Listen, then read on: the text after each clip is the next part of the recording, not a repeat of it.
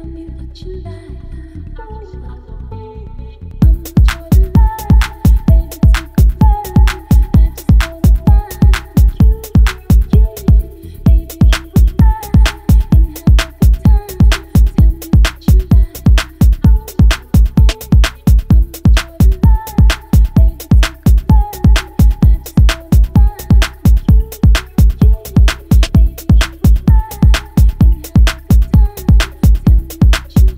ンソールを入れることによってしっかりとこう地面を噛むことができるのであ自分が持っているパワーをすごい最大限に出すことができるように思います。えー、と足圧の測定をしてもらってでまず子どもたちは初めてその自分の体と向き合うきっかけになれたことがすごく僕は見ていてポジティブなことだなと、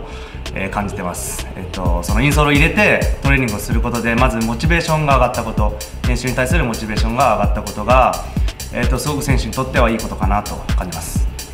えーとこれから体が出来上がってくる子どもたちは特におすすめだと思います、えーサッカーには怪我がつきものなので怪我の多い選手は特に効果的だと思います。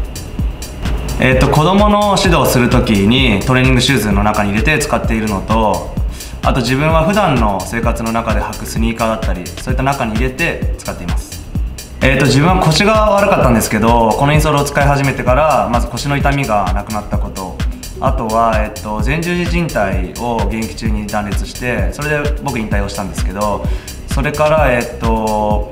このインソールを使い始めてもちろん筋肉量っていうのは落ちてきてはいるんですけどそれでも問題なく子どもの指導できてるのはこのインソールのおかげかなと思います。